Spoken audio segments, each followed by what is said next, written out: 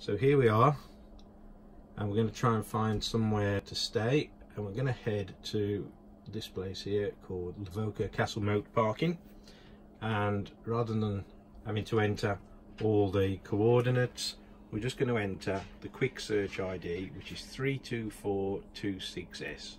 So on the Garmin we go to custom POIs, we can go all categories and then it's S32426S. Search.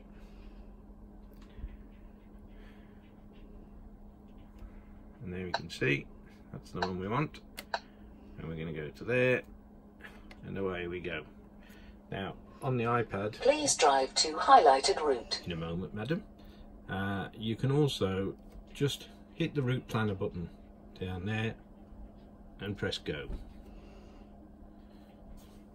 And up comes the inbuilt route planner. Head south, then turn right. there you go. Thank you very much. Hope that's useful